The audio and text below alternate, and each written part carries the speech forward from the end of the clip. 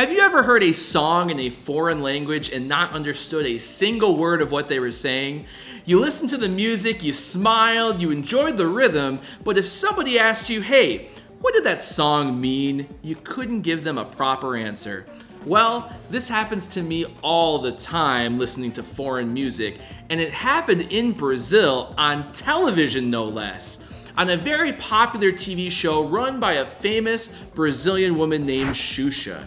In the 90s and in the 2000s, Xuxa had a television show where she helped children with the alphabet, how to treat others with kindness, and how to spell words, and just many other things. But one episode, she showcased a song that was in English, and it seemed like nobody understood the meaning of the song because the song was about not wanting a man with a small thing.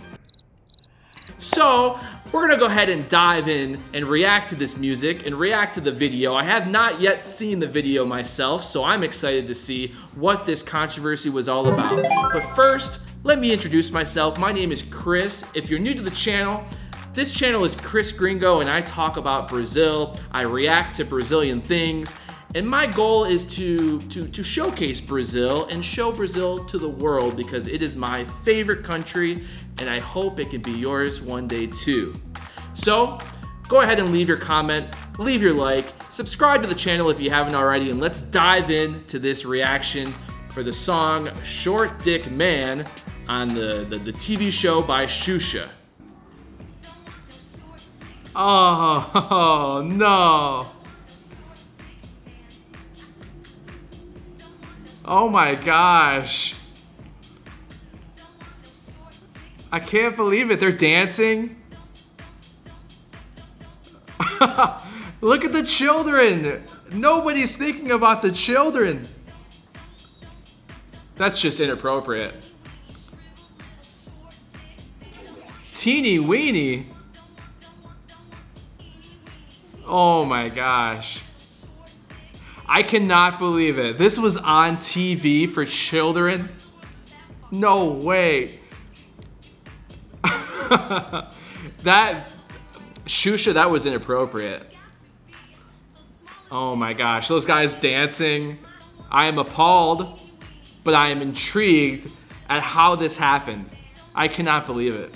It's, it's funny I've never heard a song like this. I don't know this song. It's an English song, but I don't know the song.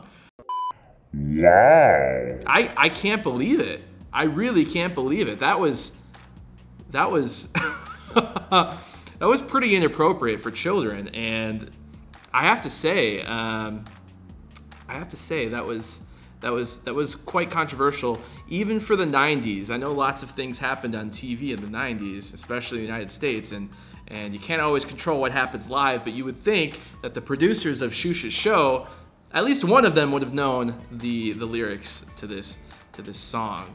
So, interesting, interesting. Definitely uh, something that should have been screened beforehand, but that's, that's just one reason that you should always know the lyrics and the meaning behind the songs that you're about to sing or you're about to perform and show for people because Sometimes the lyrics in these songs are not always appropriate.